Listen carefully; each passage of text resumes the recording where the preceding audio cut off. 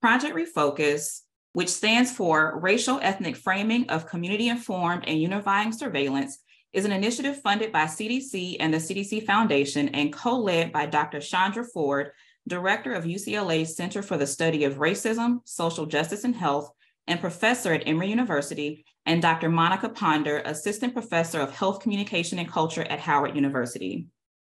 Project Refocus provides a real-time crisis monitoring and educational resource for public health practitioners.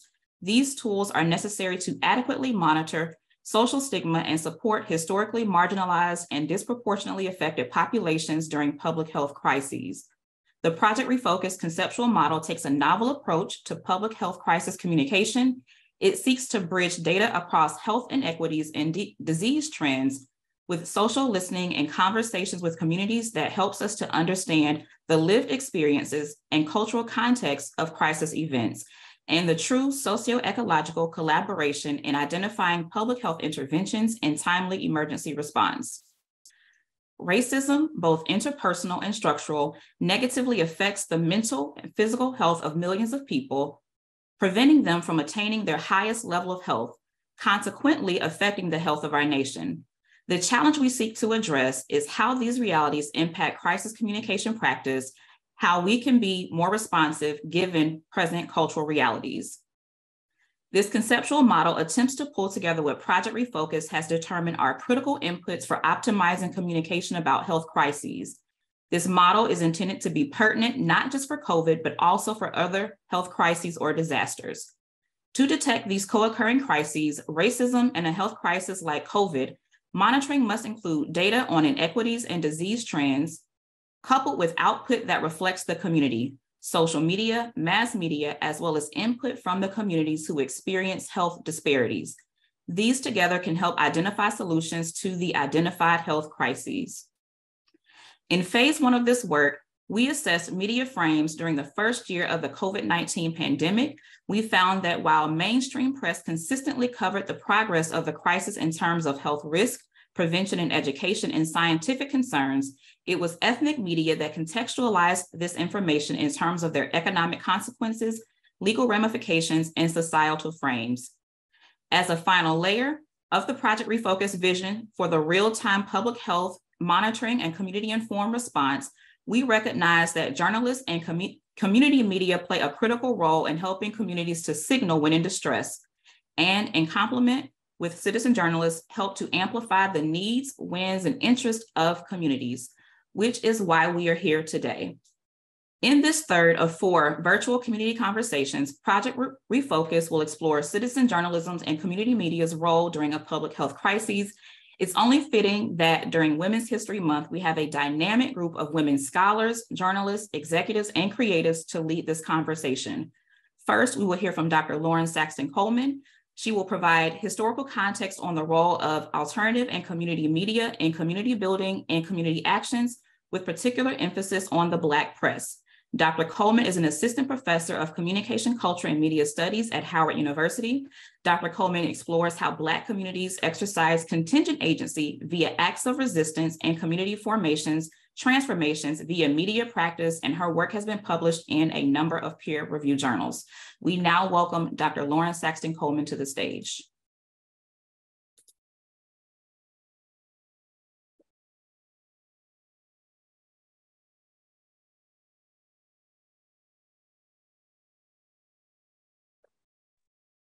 Good afternoon. First, I just want to say thank you for the opportunity to participate in this timely um, and important conversation on the role of community media during public health crises. I enter into this dialogue as a Black cultural studies and media studies scholar. I'm primarily interested in media and conceptualizing media not just as a tool to disseminate information, but media as a organizing community building practice. So today I wanna provide some context on the emergence of definition of community and alternative media organizations with a particular emphasis on the Black press. First, I want to highlight um, what are community media? What are alternative media? Oftentimes people ask what makes media community or what makes alternative media alternative. There are varying definitions in the literature, um, and I want to just highlight some key characteristics of each as you hear, as you see here, excuse me, on the screen. In looking at these key characteristics, you notice some similarities between the two. Oftentimes, when we talk about community and alternative media, it's in comparison with mainstream media. I want us to try to resist the urge in doing that, particularly as it re- as it pertains to size and scope. Because when we constantly compare community and alternative media to mainstream media, we run the risk of delegitimizing, deprioritizing, and even minimizing the credibility of the vital role that these kinds of media organizations play in our community. So, thinking about the, the last slide that kind of highlighted some of the key characteristics, we ask ourselves what are the, the similar characteristics between the two?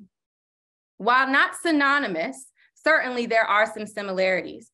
First, in both community and alternative media organizations, community members are humanized.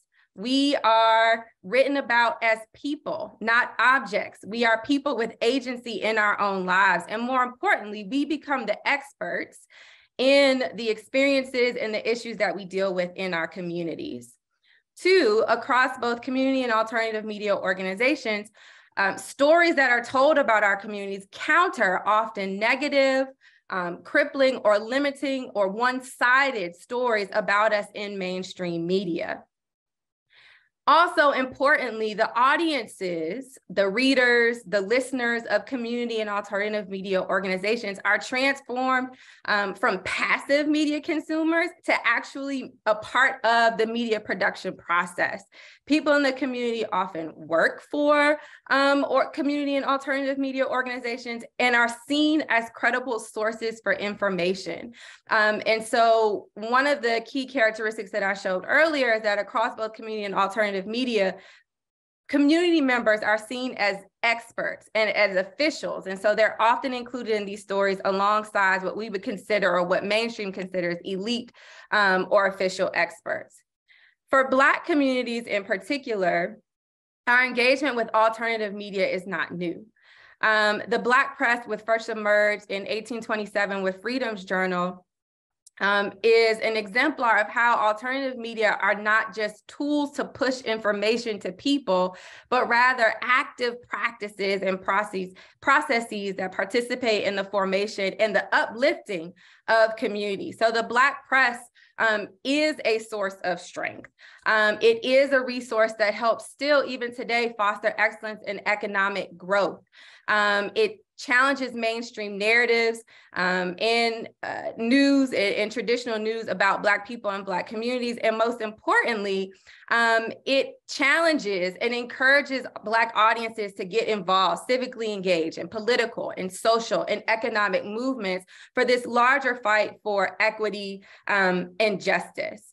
And so, what is the relevance to all this in times of crisis, which is why we're here um, today? Crisis com literature suggests that in time of crisis, we need trusted leaders to provide information that can literally help save our lives and our communities. For marginalized communities, this need intensifies. And so Dr. Goodman hinted to some of the early research did in that we did in phase one of this project, but I just wanted to highlight it here. Um, we found in some preliminary work done in winter, fall, winter of 2020 around the early vaccine rollout that the Black press covered COVID-19 as a societal problem, which shows or provides an example of the way in which um, this pandemic was contextualized in larger uh, societal problems and structures of race, of class, and of politics. Um, many of these stories highlighted the, I, the theme that Black people and Black communities do not trust the government, um, the vaccine, but what's important in understanding this coverage is that it was contextualized, it was historicized. It was not an individual problem that Black communities or people didn't trust government or science, but these stories provided necessary and important historical context. The sources that were used were both medical experts and community members alike. Um, and more importantly, there was call for equitable vaccine rollout. Um, and so what are my recommendations thinking about the role of community media in times of public health crises? Public health officials and organizations need to establish relationships with community and alternative media before a crisis hits. Certainly, we're three years into this pandemic, um, but if we want to engage marginalized communities, um, community and alternative media are trusted sources and leaders. Oftentimes, people who work within these organizations live, serve, and engage with community. And so, these organizations don't need to just be seen as a, a, a place to push information, but rather establish collaborative relationships so organizations can think expansively along with these leaders about how to create more culturally and holistic risk and crisis communication strategies. Thank you.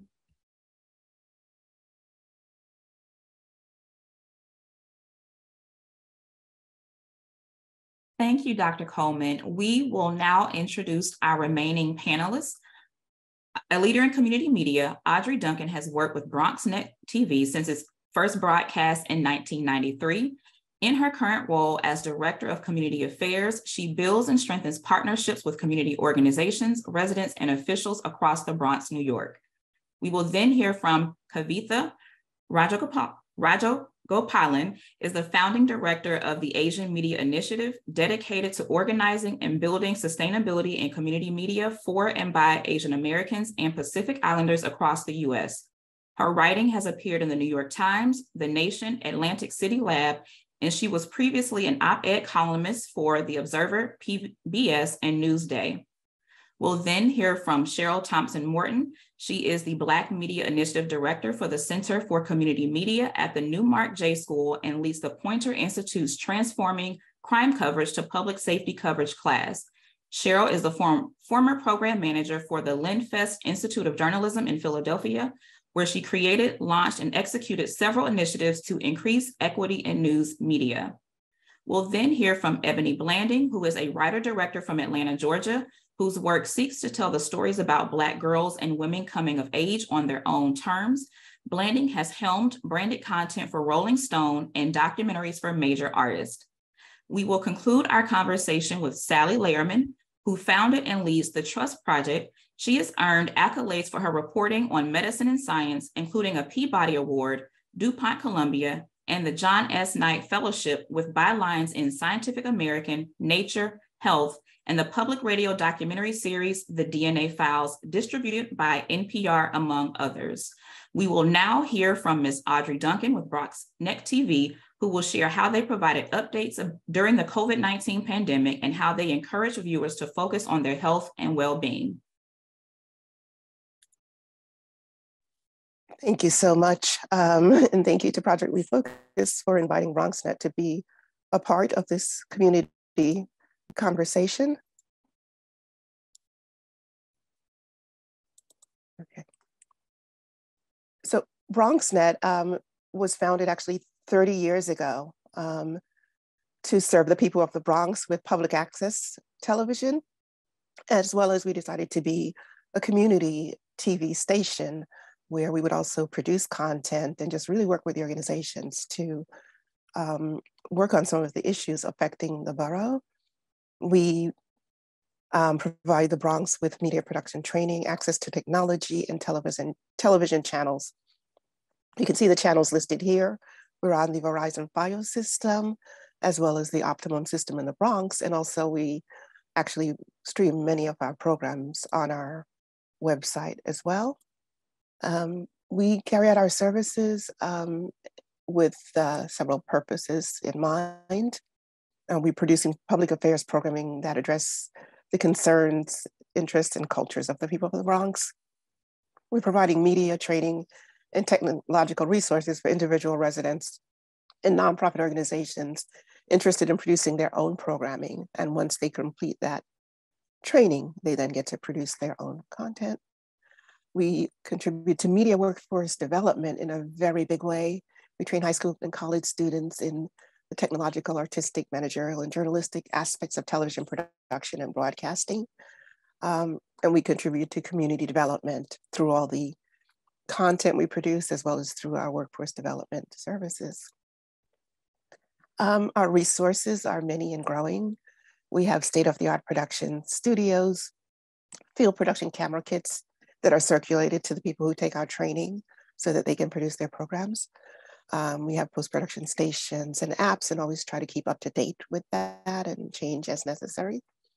We um, now have immersive media production stages um, for virtual reality, augmented reality, and all sorts of new things that people can do.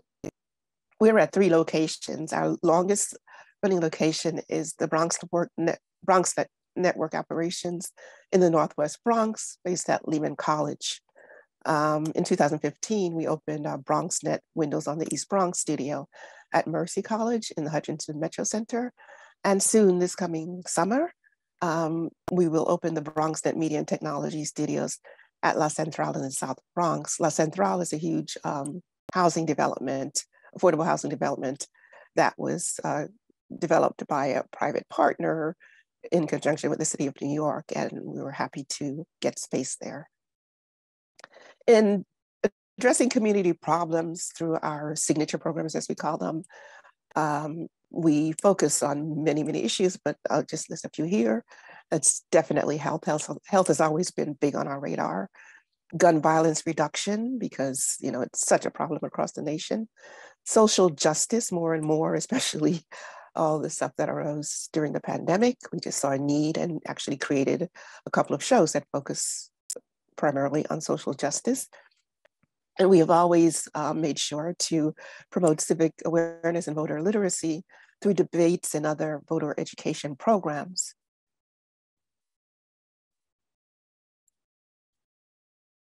Uh, we work with issues in a number of ways, um, as I mentioned, through stories and discussions on our professionally produced signature programs, um, through the training um, and empowerment that we give to Bronx residents when they take our classes, and some of them look at our signature programs as an, as an example of what they want to contribute. So they, many of them create programs that focus on the issues and, you know, really certain segments of the population that they feel like they should speak to. We have many partnerships with local and citywide organizations where we produce events together and definitely produce content together and constantly have experts on our shows to talk about key issues. Um, one of the reasons we you know, chose to focus on health in a big way is that since 2009, according to the Robert Wood Johnson Foundation, um, they've ranked the Bronx number 62 out of 62 New York State counties in health outcomes, um, which is not good. so, you know, there are many people like the borough president who definitely agree that that is not acceptable and do so much to work to change that. Um, so working with health organizations and experts to just provide information that will um, encourage people to take care of their health personally, um, that will let people know what they can do to exercise their rights when it comes to getting proper health care from institutions, um, you know, focusing on some of the health concerns that really plague the Bronx, like asthma, diabetes, heart conditions are big. Nutrition, and sometimes the nutrition problem um, also stems from not having enough quality like supermarkets in neighborhoods. So, you know, it's definitely both advocacy and just personal education when it comes to us reaching out to improve the health picture in the Bronx. Um, so uh, during the pandemic, um, we worked, most of us, we were all working remotely and but within a couple of weeks we said you know we have to continue providing the services that we provided. So um, we continue to serve the bronx with content and we continue to serve our individual residents with with training media training that they were used to getting so that they could produce their own programs. We had all sorts of virtual classes. We taught people how they could use whatever they had around them their device um, whatever lamp they could find we told them how to um, use those items to get the best video quality, audio quality, so they can continue to do their programs and share them on BronxNet. We um, tackled the problems in many ways. We had something called, we call BOPAZ, the BronxNet On-Screen Public Awareness Alert Zone, um, where we had up to the minute uh, information from CDC and other health agencies, just keeping people informed um, so that they could know what's going on and know what actions they might take next. We had um, health experts appear regularly on our signature shows, also giving updates, information. We had live feeds of the, um, you know, usually daily uh, briefings that our New York State governor, as well as our New York City mayor, were giving. And we had partnerships with the New York City Department of Health, as well as other entities where we shared information on COVID testing, COVID vaccines, and just really keeping that those messages um, in front of people on our screens. We continue to focus on health, um, you know, even though we've worked our way out of the pandemic, because as, as I mentioned, it was always a big issue for us. Um, and um, these are just a few of the ways, there are many more. We have a partnership with a local hospital, Montefiore, where we, um, you know, their experts promote healthy living, um, health equity, big topic, so that people can fight for their rights and get equitable healthcare. Um, we produce forums together with them, um, along with elected officials, to in theaters like uh, the one at Hostos Community College, where we had a big audience there, and we televised it so that people who couldn't be there could get the information. We have a fun show which we had for a number of years with, um, if any of you remember, hip hop uh, legend, pioneer, Grandmaster Melle Mel. He's really into fitness now, so he does a fitness show where he's really in a fun way with that same vigor that he put into his um, songs. Um, he encourages people to stay fit and eat healthy. We have a partnership with New York City agencies, particularly through the Mayor's Public Engagement Unit, and they tie us to many other city agencies. Um, we're working with them now to help organize an all day health awareness event that will actually take place on our April 1st. And what we will do there is um, we will have many health information stations and fun activities, and we're going to um, produce and broadcast all that information so that people can really take advantage of all the expert knowledge and fitness tips and all the sessions that are happening there. And, you know, we will continue to do that and so much more. Uh, thank you so much.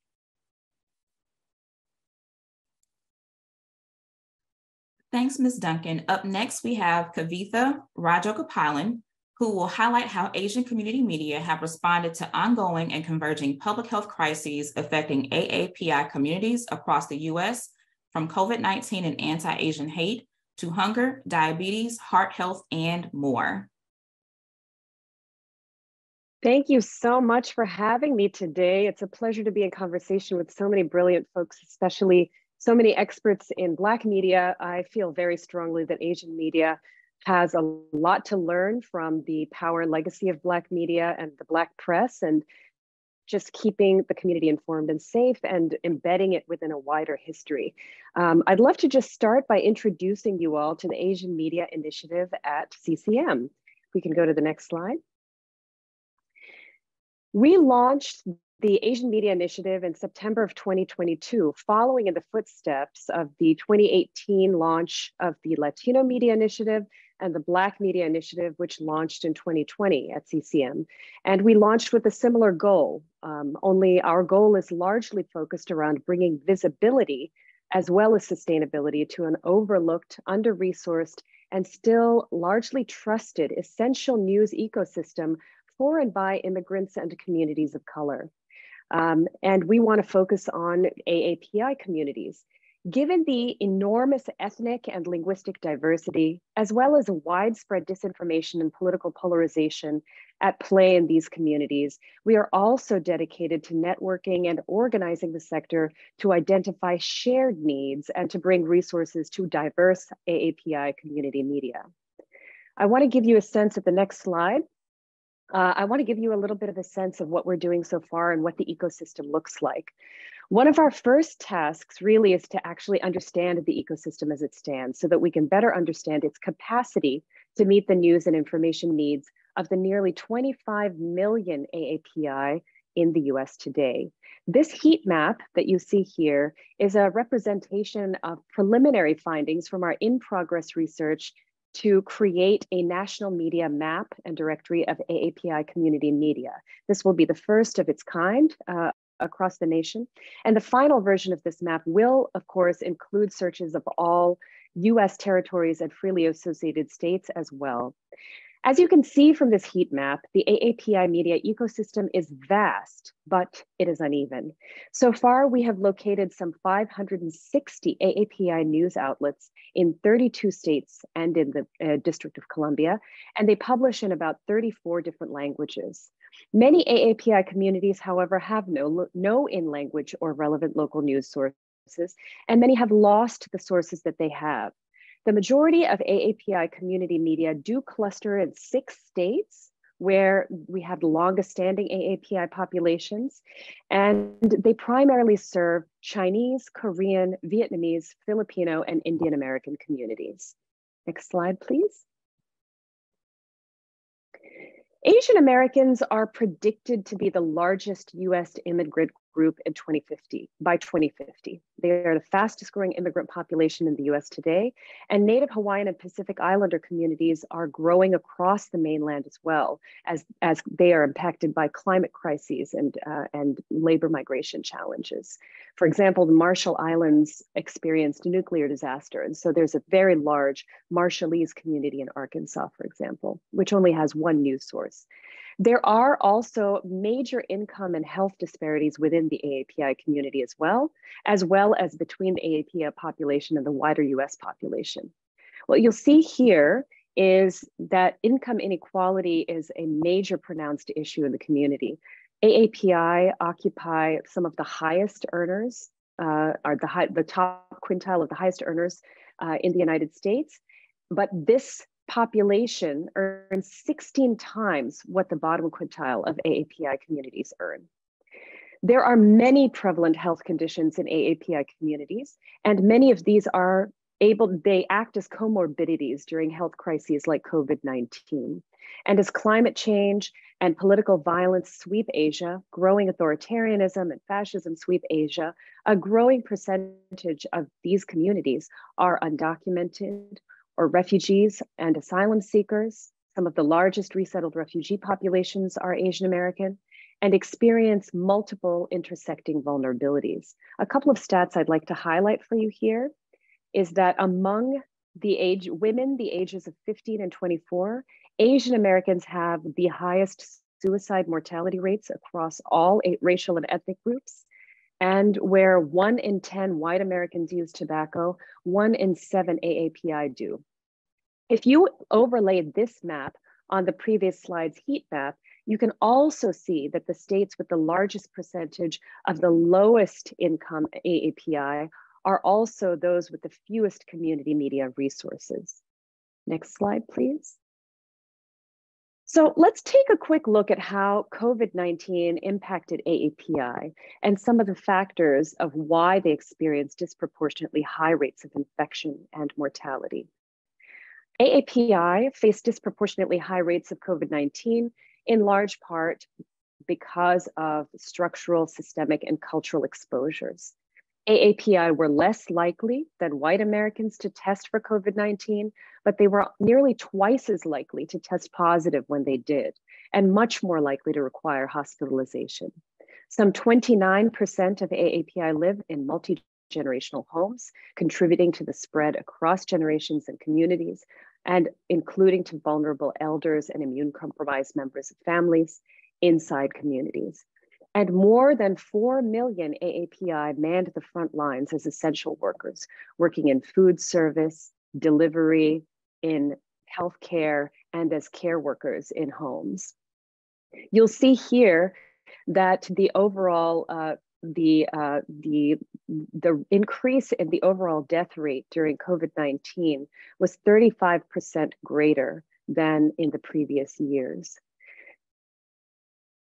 I want to pull one stat out here just to share with you and give you a little bit of a sense of the discrepancy in coverage between mainstream and Asian American media. One stat that we found is that in September 2020, the National Nurses United reported that while they just made up for 4% of registered nurses in the US, Filipino Americans accounted for 32% of nurse lives lost to COVID 19. And we rarely saw stories about these losses outside of community media. Next slide, please. In this, I would like to showcase for you, I'm going to add this into the chat for everyone to see. Uh, in the spring of 2021, we published an in-depth feature report on called Asian Media on the Front Lines, in which we highlighted how AAPI community media were responding to converging crises of COVID-19, hate crimes epidemic, hunger, and widespread disinformation. From Filipino and Malayali nurses to Fujianese food delivery workers to Banjari meat processing plant workers to Vietnamese nail salon technicians to Korean grocery store clerks to Nepali and Bangladeshi domestic and family care workers, AAPI manned every front line of the pandemic.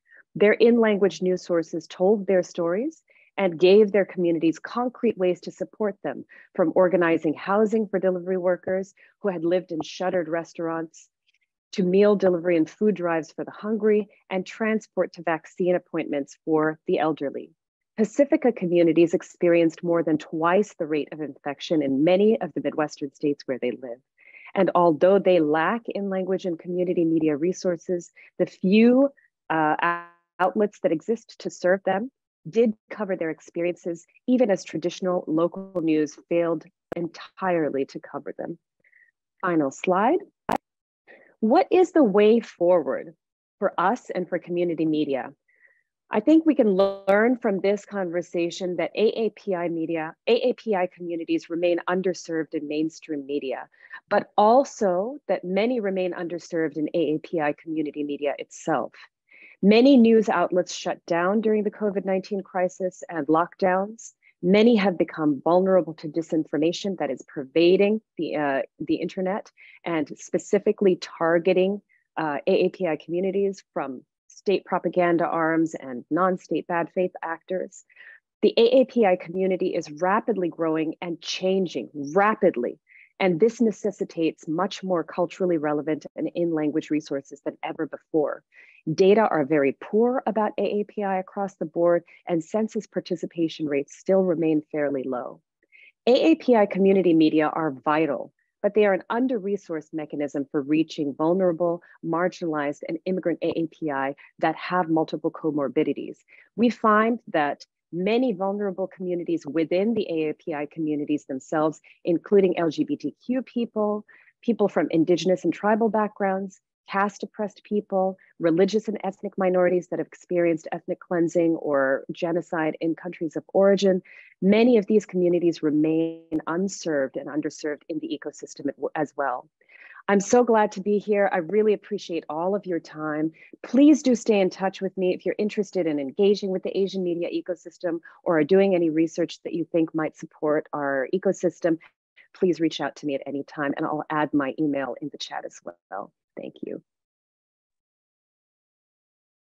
Thank you, Kavitha. Now we'll hear from Cheryl Thompson Morton, who will discuss how Black media covered the COVID 19 pandemic and will also share lessons from the sector that can be applied more widely in future public health crises.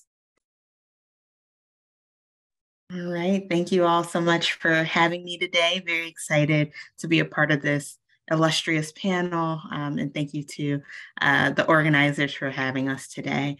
So uh, my name is Cheryl, and I lead a project called the Black Media Initiative. I'm a colleague of Kavitha, so that's why the names are so similar. Um, and today I want to discuss with you all what we can learn from Black media when covering public health crises. So in 2021, we published a report titled Why Black Media Matters Now. This study was a comparative analysis between Black and mainstream media and ran from March of 2020 through May of 2021. The report is really rich in findings from the research team, so I hope you'll have a chance to review it after this call. However, we can distill all of the findings into three major buckets or themes, all of which I think have lessons for us in communicating around public health crises. First is that Black media provides greater coverage of issues that disproportionately affect African Americans, and they cover these topics earlier than mainstream media. Second, Black media centers the humanity of people in their coverage in a way that is distinct from mainstream media. And finally, Black media connects current news events to the larger fight for justice and historical context in this nation. So let's dive right in by starting uh, by talking about the topics that Black media covers more. When it came to COVID coverage, Black media wrote five times more than mainstream media on the disproportionate racial impact of the pandemic, and nearly twice as much as mainstream media on frontline and essential workers. Black media covered also a variety of health issues of particular relevance to Black communities at higher levels than mainstream media, including maternal health, hypertension, diabetes, HIV and AIDS, and sickle cell disease. On subjects related to race, Black media not only had consistently higher levels of coverage than mainstream media, but also put focus on key race related stories earlier in the news cycle than mainstream media. An example where we saw this trend clearly was the coverage of the disproportionate racial impact of COVID, um, as well as coverage of Breonna Taylor, which is uh, another topic we cover extensively um, in this report. So, as noted earlier, the coverage levels of the disproportionate racial impact of the pandemic were five times higher in Black media than in mainstream media. Examining the daily coverage levels over time, Black media's coverage quickly climbed to a peak of nearly 2.5% of all stories published within the first month of the pandemic. By April 8th, coverage had reached a primary peak of nearly 7.5% of all stories. At the same time, mainstream media was only starting to cover this issue, with less than 1% of stories mentioning it. Mainstream media did not reach a peak of coverage of the issue until two months later on June 6th. Even then, coverage was less than 3% for all stories. The next topic I want to discuss is how Black media centers the community in their coverage. So, looking at the language frequently used in stories about topics at scale, a trend emerges where words used frequently and uniquely by Black media show a humanization of the people involved in or impacted by the news. All of the following terms were part of the top 100 words of Black media's coverage and not in the top words for mainstream media. We saw the word care come up in social distancing, anti masking, mass incarceration, immigration, political coverage, sexism, and Me Too. We saw the term pain come up in coverage of sickle cell disease and suffer and suffering in coverage of diabetes and hypertension. Obviously, the word Black was consistently used, um, and we saw this um, around a variety of topics and was uniquely prevalent when compared to the top words used by mainstream media. The only topics where mainstream media did include Black in the top words was vaccine hesitancy, long COVID, disproportionate racial impact, and comorbidities and risk factors. So we see it's a very limited scope um, when we're talking about um, Black folks uh, in their relation to COVID 19. We also see references to the community and family are uniquely prevalent in Black media as compared to mainstream media across subject areas. Black media centers women, both as a collective and individually, reporting across subject areas in a way that uh, mainstream media doesn't. And Black media also uniquely focused on children, youth, schools, and students across subject areas. Um, and those terms were most frequently used in Black media, really across a variety of topics. And we didn't see that uh, when we looked at mainstream media. The next thing I want to talk about that Black media does uniquely is connect news events to wider issues of justice. So, through our research, we saw evidence of Black media creating narrative arcs that connect news events across subjects with a core and common focus on an issue of injustice issues are covered from a systemic frame, which is often unique from mainstream media. So Black media had the term suppression in the top 100 words for political coverage. Importantly, Black media covered the issue of voting access to coverage of COVID, the pandemic, health, as well as racism. And coverage of COVID, health, racism, Juneteenth, and Black Lives Matter voting was among the top 100 most frequently used words by Black media. We also see across topic areas, but particularly in the coverage of health, Black media emphasize threats to or inadequacy to food, housing, and education, often grouping them together narratively. The language used uh, that Black media used most frequently in the coverage of criminal justice, evidence is a frame beyond news events, and instead focuses on systemic historical legacies that persist into current injustices. For example, justice and systemic are uniquely in the top words in Black media's coverage of police shootings. Poverty is uniquely prevalent in Black media's coverage of mass incarceration, as are Jim Crow and lynching.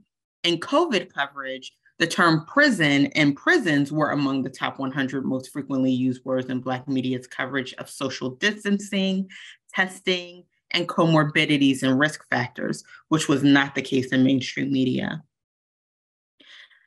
Finally, the concept of access was a clear focus in Black media's coverage of the pandemic and health overall, which was not echoed in mainstream media access was among the top 100 most frequently used words in coverage of vaccines, vaccine hesitancy, testing, essential workers, disproportionate racial impact, and impact on learning. It also was uniquely prevalent in Black media's coverage of other health issues as well. Um, and finally, we see the word disparities show up in Black media but not in mainstream media and coverage of things like diabetes, hypertension, and HIV and AIDS, even though there have been clear health inequities in all of those areas. Black media not only connects news events across topics and reporting, but also prevent, uh, presents events in the historical record, helping to keep track of the Black experience. So the Tuskegee experiment was prominently featured in Black media's coverage of medical mistrust and distrust. Jim Crow was emphasized in coverage of mass incarceration. Lynching was included in coverage of slavery and Juneteenth. Even the word history itself was uniquely prevalent across Black media across a diversity of topics. So, what lessons can we take from Black media's coverage uh, for our coverage of public health crises? First, we have to cover uh, the aspect of the crisis that are impacting communities' daily lives and address their immediate concerns as it relates to the crisis. Second, use humanizing language and also don't dismiss the concerns that the community has, but work to address them. And then finally, public health crises don't happen in a vacuum. So we have to make sure that we're situating our communication within the broader condition of the community. So thanks so much for your time. Uh, happy to answer any questions, but also excited to hear from the other panelists. Awesome. Thank you so much, Cheryl. So up next, we have Ebony Blanding, who will discuss visual communication and storytelling through the lens of historically marginalized youth. Ebony? Thank y'all so much. I'm so grateful to be here and I'm hear about all of the wonderful things that everyone is doing. Um, I am representing Reimagine Atlanta. Uh, Reimagine is um, an organization that equips the next generation of representative storytellers. Uh, our vision is a safe, inclusive, and equitable workforce in the creative media industry. And our core values are authenticity, community responsibility. Um, problems we are working on, working towards solving are economic inequality in the city of Atlanta. I'm sure all of you all hear about all of the great things that um, Atlanta is doing, but there are so many dis- uh, disparities in regards to just like pay income and the gaps of just meeting opportunities. So Reimagine is here to really bridge that gap. Uh, one of my favorite sayings um, is the South got something to say. Um, if you all have the pleasure of being familiar with Outkast, uh, Andre 3K, uh, Three Stacks, this was one of his quotes that he said at an award ceremony. Um, I live by this. I'm a Southern girl. Um, so what we really represent and what we represent for all of the young folks who come to us is letting them know that they have something to say and we are here to just be a channel uh, for them to do so. I'm going to go back to this slide. Um, our team for Reimagine Productions um, is made of creative team leaders who are professionals um, who have rich experiences. Uh, we believe in staying inspired and to never stop creating. Uh, Rihanna, she is a producer and photographer, Uh, she's really a point of contact for Reimagine Productions. Um, she's in charge of planning the story, the development, uh, the business budget uh, decisions that most folks don't like dealing with, but she loves spreadsheets. Um, and she works from pre to post production. Myself, I'm a writer director, um, and on our projects, what I do is I typically work with the youth apprentice, um, and they are shadowing me while I direct. And so we do it together. We co direct as well as write the stories and the treatments for the different and various projects we have to do. Uh, Makai is a brilliant director of photography. Um, he lenses all of our work. Um, and also, we have apprentices who shadow him. So in every facet of production, we have a team leader and then um, an apprentice who's able to shadow and be able to put it on their portfolio of all the dope things that they're doing. Um, reimagine the future of visual communication and storytelling through the lens of youth. Um, honestly, with Reimagine, I'm, I'm super proud of us because whatever level you're coming in at, you're allowed to really grow in real time. Whereas like some fellowships and some like apprenticeships, you have to either have like graduated from somewhere or obviously know someone is who you know sometimes in this industry or be at a certain type of level before you can even get entrance into a program. Here we take you when you are at your greenest um, and also if you have a portfolio that is budding. So we have room for everyone. Um, so yeah, that visual, and I'll be sure to share it in the chat. Sorry that's not playing, but it was pretty much a reel that documented all of the amazing organizations and companies that we work from, anywhere from like NBC to local organizations that uh, do food pantries. Um, all tiers of organizations, as we know, need advertising and commercial work done. So um, our apprentices go out in real time. They meet with the clients um, from pre to post-production, they are involved in the process of creating content. Um, our organization trains and supports local and creative media storytelling among youth by, and I'll get to that on another slide, but programmatically, we have different buckets, anywhere from documentary to commercial to photography to animation. Um, all of the different storytelling components we are involved in. Um, our observations since COVID-19 began, some of the more like high level ones that we've noticed is we used to have opportunities to go into some of the studios, like we have Screen Gems here, um, and we would like get walkthroughs and tours, and folks would actually be able to go on set and shadow people. Um, obviously, COVID has shifted how business is done, and um, it's kind of like there's really no going back to business as usual. This is the new way that things are done. So the access point to get in some of these places um, has kind of dipped off a bit.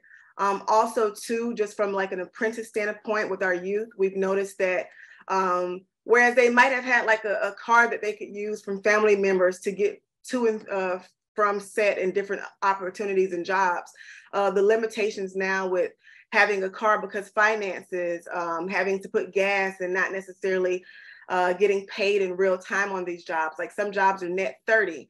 So just being able to really like navigate how um, in their own homes, some of the access have shifted for them to be able to uh, create sustainable careers. And also from an industry level, things have shifted drastically. Um, some recommendations we have on expanding skills across the public um, as it regards to what we do is, I always like to say that like, when people say I'm telling stories for folks, uh, what we really believe is people have the authority and the agency to tell their own stories. Um, and so just really being able to let people know that in working in media, um, it's less about us telling folks stories and more about like telling stories with people and opening up the opportunity for it to be just kind of a transactional narrative, um, whereas people can feel like they have their voice being amplified. Um, also, two, expanding skills across uh, the public is really amplifying and letting folks know that uh, Black and BIPOC folks um, have the skill set, have, have, have the desire to work in industry at a top of the line standpoint. Um, and when I say top of the line, I mean like you have um, folks who work in like the creative decision making. A lot of times when Black and BIPOC folks are brought onto productions, it's typically um, obviously through an entry point, but what we notice is a lot of times we stay there for at lengths that some of our other counterparts, our white counterparts, don't have to. So just being able to understand and um, really ground folks in understanding that um, they're equipped, they're ready to do the work, and they have opportunities to grow, and they need those opportunities uh, to, to really maximize their potential. Um, our workforce development pipeline, uh, pipeline um, we exposure, we've had over 440 students served. Um, our training looks like over 940 training hours for high school fellows and apprentices. So in real time, we're going into um, high schools that are all across our counties doing workshops with teachers about media training. Um, we just did a get out from the film, uh, a whole like simulation of the scene where the person is doing hypnosis that everyone loved.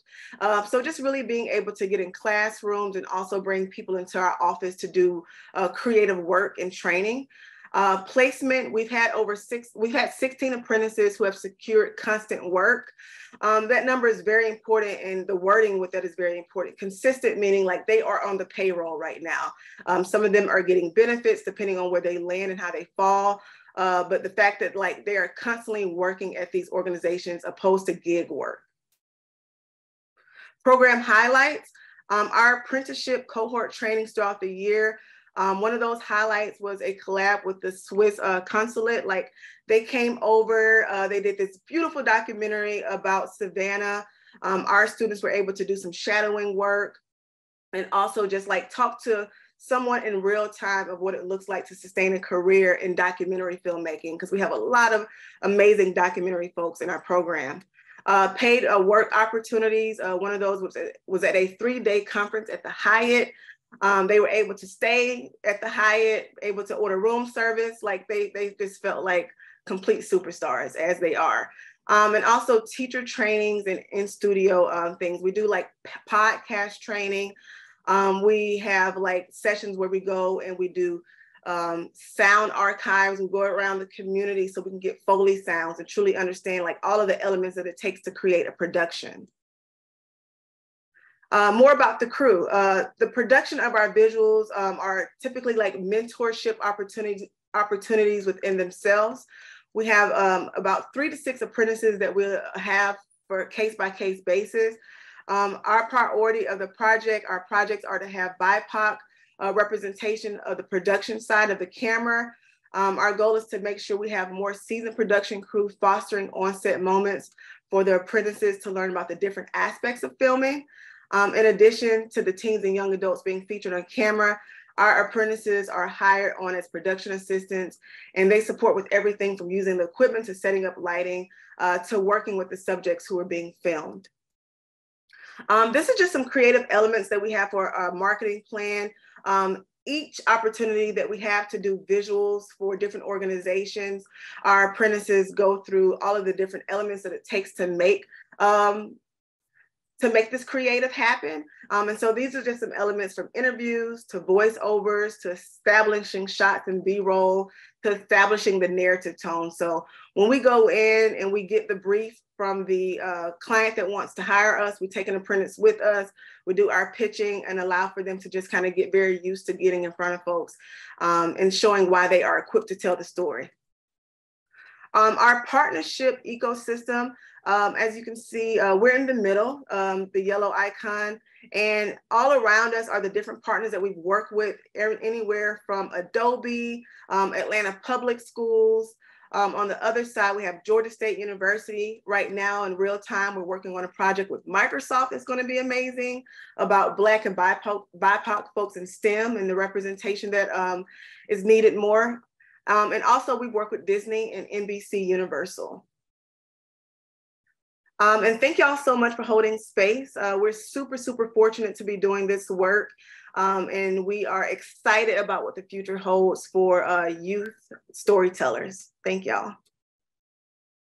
All right, thank you so very much. We will now hear from Sally Lehrman with the Trust Project, who will discuss the problems identified in mainstream news coverage about COVID-19 and how the eight trust indicators can help newsrooms and the public center trustworthy or more trustworthy about news.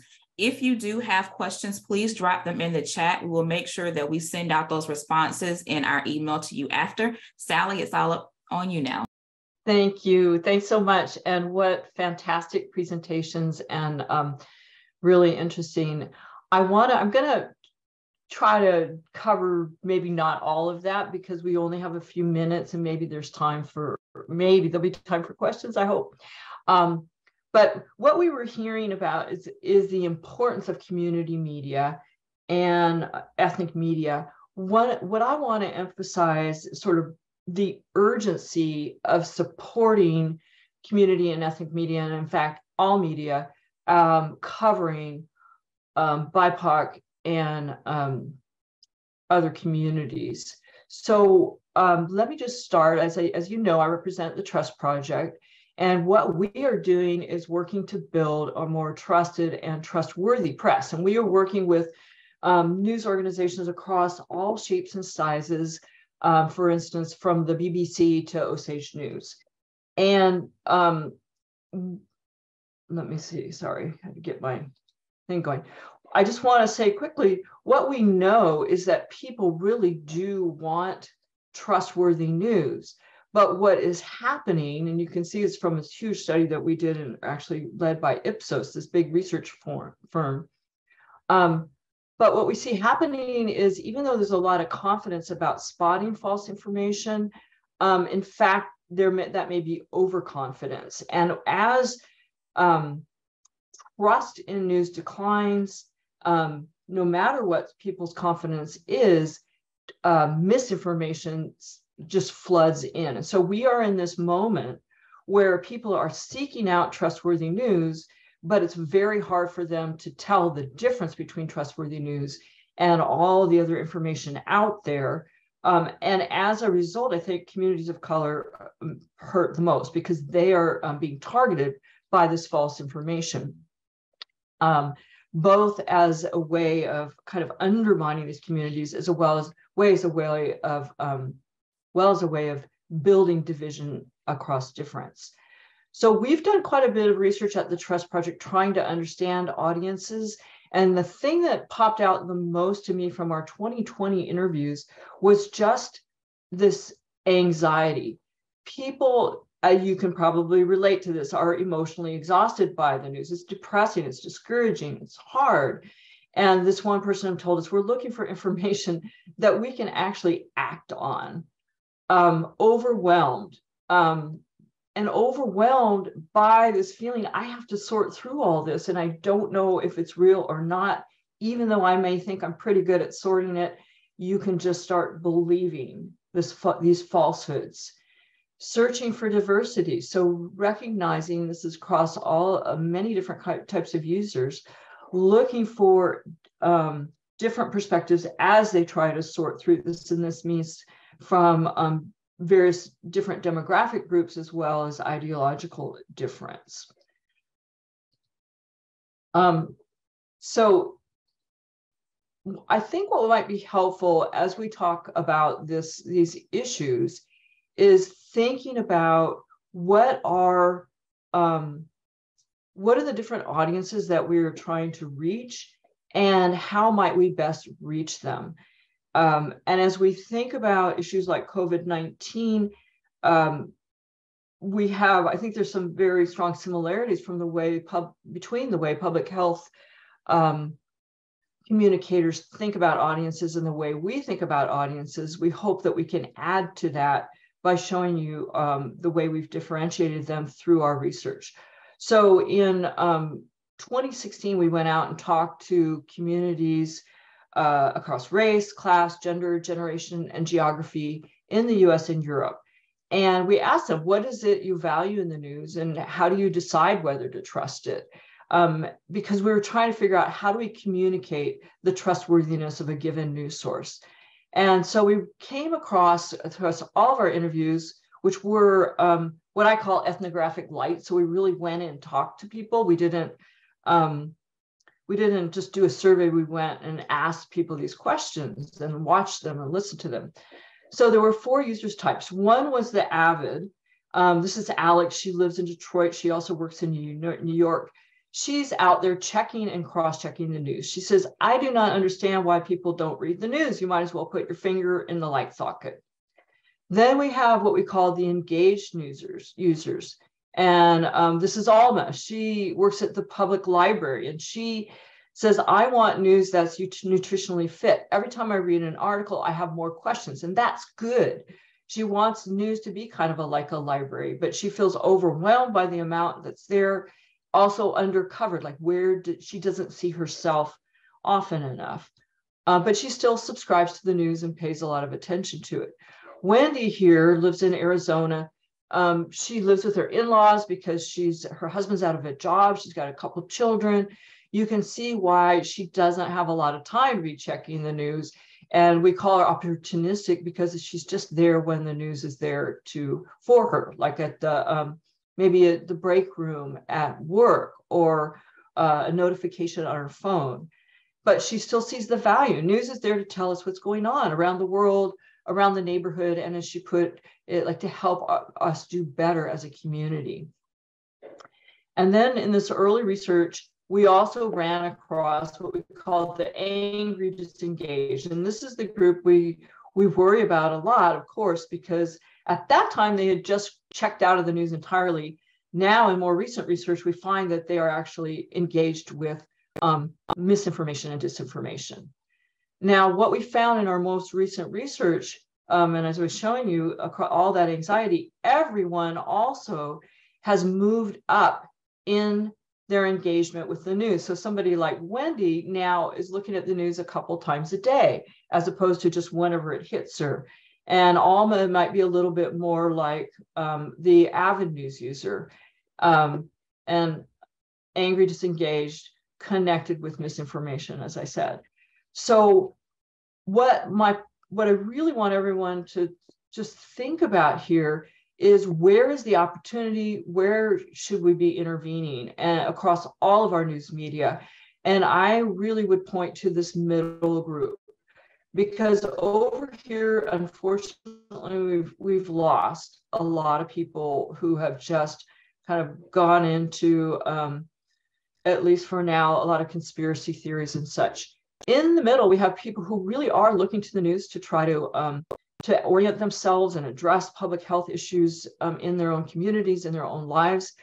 Um, but they feel overwhelmed and a bit lost. Like, how, and so we can reach out to them, and that is where um, our focus on these eight trust indicators, I think, can help.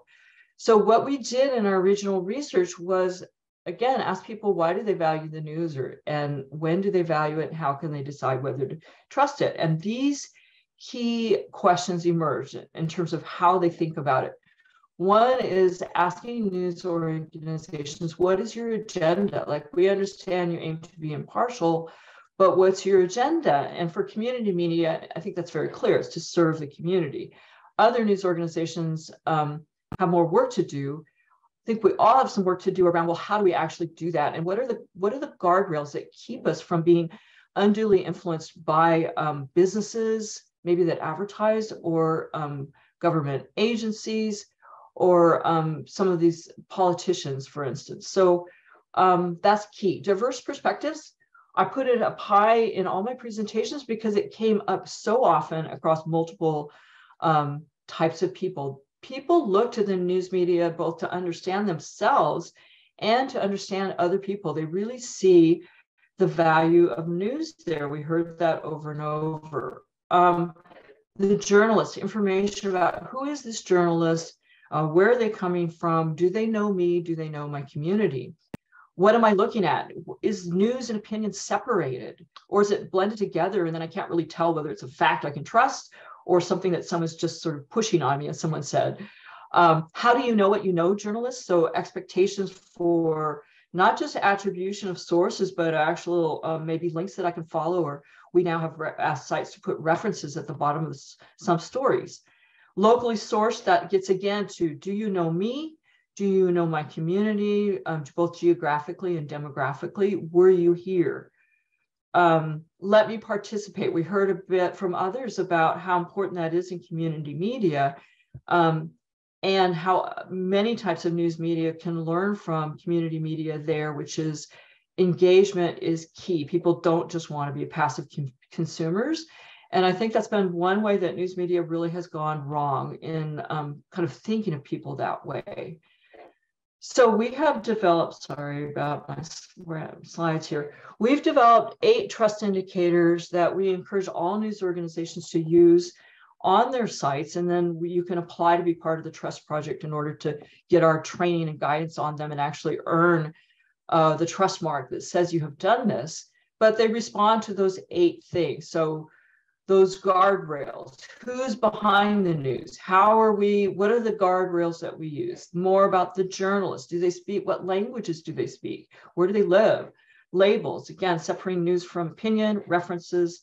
Um, i won't go into all of these but i think that these are um, core ways that both news organizations can step up to this urgent challenge right now and revealing who and, and what is behind their work um, and then specifically diverse voices is an area that we focus on uh, that I want to emphasize for this group um, because we are trying to build structural ways across news organizations to pay more attention here. And one is we ask every news organizations to state their commitment to inclusion in those best practices. So what are they really doing to diversify their voices in the news and um, their coverage. And we even ask um, community news organizations to do that. So, for example, Osage News, which covers um, the Osage Nation and all their population throughout the United States, we ask them, well, how are you diversifying and what does that mean to you within your community?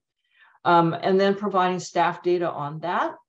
And then also in coverage, this is where uh, I was going to talk more about the way the ways that mainstream media has gone wrong and i think we've seen some examples of how community journalism has done well but could do better and that is covering disparities in health and other areas as a structural issue not a personal choice. So not just thinking of inequity as the data we see these differences but looking at well why do these differences exist? And going up the ladder of the social determinants of health to community structures, institutional policies, and even um, structural uh, inequities across uh, social division and social hierarchies. And that's where I'd like to, um, I mean, we are encouraging our journalists to, to go further there. So thanks for the time. I hope that whirlwind um, introduction was useful.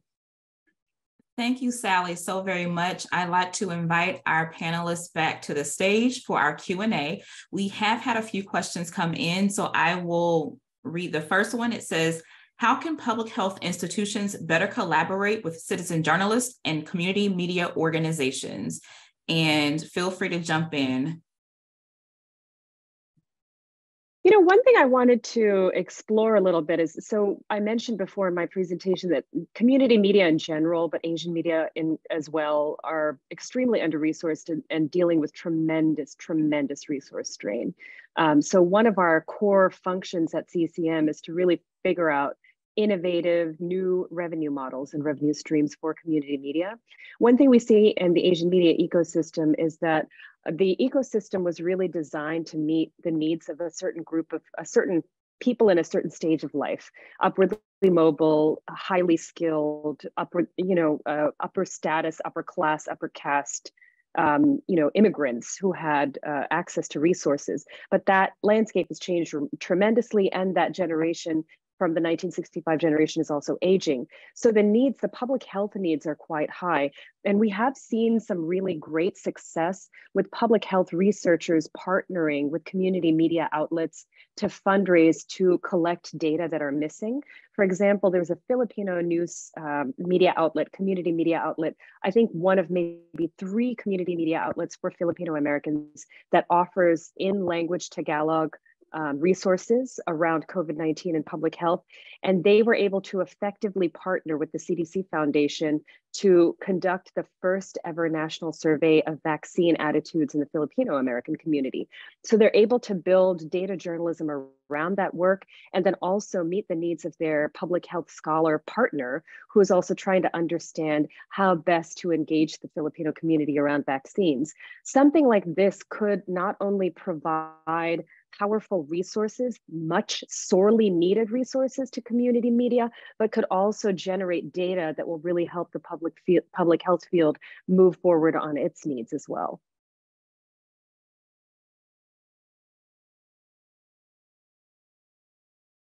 Thank you. And I'd love to hear from Ebony if you have any perspective on how a public health organization could partner with an organization like Reimagine, working with youth from historically marginalized communities.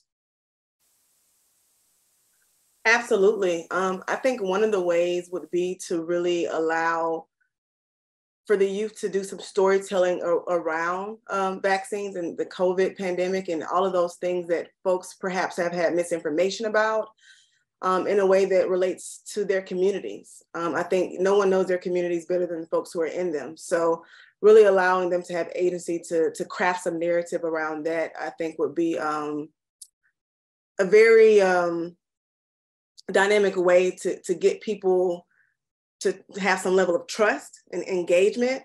Um, and I see it in real time in the community that I stay in. I stay in a historically Black neighborhood in West End of Atlanta, and there's an organization called uh, Community Builders. And they go door to door. Uh, we trust them because they look like us, they look like my family. Um, and they talk to us and they engage us with some of the youth as well as some of the elders to talk to us about how to protect ourselves um, and how to advocate ourselves in the medical complex all over. Thank you. And Ms. Duncan, what are some ways that public health organizations could partner with BronxNet TV to support your community? Um, yes, I think I mentioned um, we partner on events, um, fitness events where the public is drawn in. And then um, once people attend those events, we are able to provide them with more information about BronxNet as well as about the health issues and the health institutions. I think we also, we reach out to health organizations um, when we think that a particular issue is important and we make sure the conversation is two ways because we feel like sometimes with the big institutions we've had a i guess a lot of experience out there over the years on the ground. So i think we know um, some of the things people are thinking about. So together we come up with plans for content that we really think is going to reach the people of the bronx Thank you. And one final question How has social media been leveraged to help citizen journalists amplify their work and uplift the concerns of community members?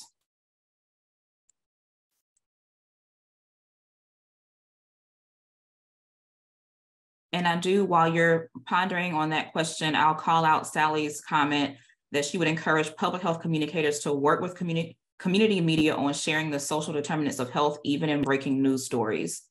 Thank you, Sally. So any examples of social media and how citizen journalists and community media have used it to amplify stories? We would love to hear those if you have them. So we just recently uh, entered into a partnership with the Asian American Digital Politics Collective, which is really looking at not just how influencers and digital um, sort of digital actors are spreading disinformation in the community, but how community media can use social media to kind of push back against some of these stories. And we've seen um, some really powerful work. You know, it's been challenging during the Shanghai uh, anti COVID lockdown protests. A lot of Chinese language media had to leave WeChat, but they've now made their way into TikTok. So we're seeing quite a lot of really powerful organizing and storytelling happening in TikTok around Chinese language media. Um, and Twitter is also turned, it's a, you know, Twitter, Twitter's going through whatever transformations it's going through right now, but it has become a very powerful organizing space for anti-caste activism in the South Asian media, which has a ton of comorbidities with um, with with um, with public health outcomes in the South Asian community as well. Okay, thank you so very much. So that wraps our Q&A for today. I want to remind you that there will be a replay of this conversation on our YouTube channel. We already have our past two community conversations streaming there now. You can also follow us on Twitter. If you would like to join our final community conversation, you can just take your cell phone, scan the QR code here. That's happening April 13th from 1 to 2. And that will discuss arts, coping, and healing during public health crises, lessons learned from Project Refocus community partners. We want to, of course, if you have an opportunity. If you want to collaborate with our project, you can reach us at projectrefocus at howard.edu. Thank you to our Howard and UCLA teams and also for our CDC, CDC Foundation, and our project partners. And just want to thank you all so very much for your participation in today's conversation. You all have a great rest of your day.